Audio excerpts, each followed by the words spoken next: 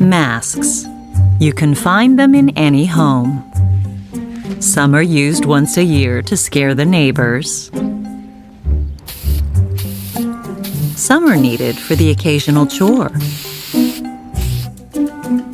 Some are applied every other Thursday. Then there's the kind of mask some men wear every day. It's a friendly smile, designed to hide the most wicked of intentions. Hey, MJ. Is your mom home? She's inside talking to Jackson. Really? So, what do you think of Jackson? I like him. He buys me comic books. Yeah, he's a good guy. He was very brave that night during that fire at the nightclub.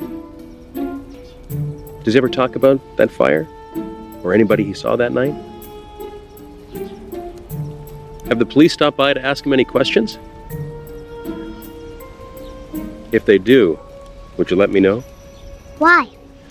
Well, I want to make sure they're being nice to our friend Jackson. Because he's such a good guy.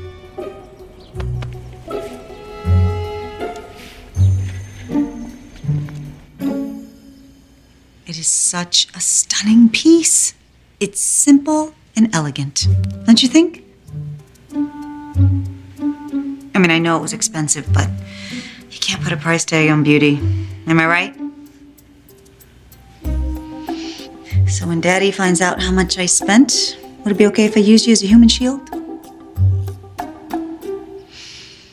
You know, I should really get you tested. Mom, Hey, did you have a fun play date with Heather? she got a canopy bed. I want one. We just bought you a bed. It's not even a year old. I don't like it anymore. I want to sleep under a canopy. Then go move in with Heather because I'm not getting you one. Why not? We're rich. Who told you that? I heard you telling Aunt Bree since Daddy got his new job, we're rolling in money. Well, Mommy shouldn't have said that. Just when Aunt Bree started bragging about her new Prada bag, Mommy kind of lost it. Whatever. I want a canopy, and you gotta get me one. I don't have to get you anything, and stop acting like a spoiled brat.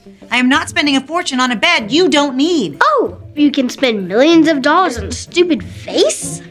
That vase is not stupid. Is that vase stupid? Okay, you know what? This conversation is over. Go to your room. You too, bobblehead.